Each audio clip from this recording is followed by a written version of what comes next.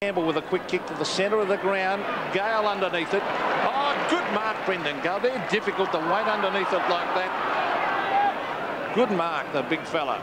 got to move it quickly. Richardson on the lead. Out wide is Naish. Thumped away from him. Here's a chance for the Tigers. Around the corner, in towards Rogers, a good mark. That was good play. Daffy, who got it there quickly and Rogers has been a revelation this year. He has. That's a gutsy mark too, Pete. Just set himself on the footy.